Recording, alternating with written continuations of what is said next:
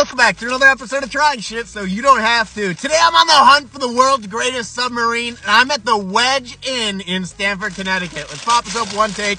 You know the deal. See what we're working with here. The world's greatest submarine. This is the Wedge Inn.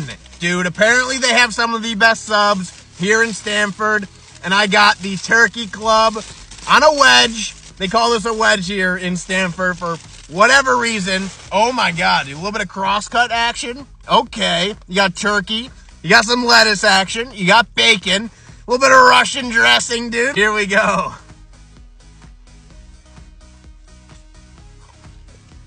Hmm. Okay. I mean, the turkey on here. Let me get some of this turkey for homegirl. Here you go, girlfriend. Here you go. Drop the beast. That's all right.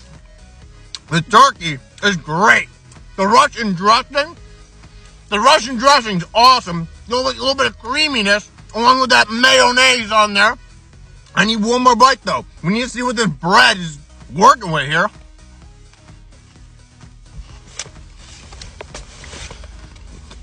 Okay.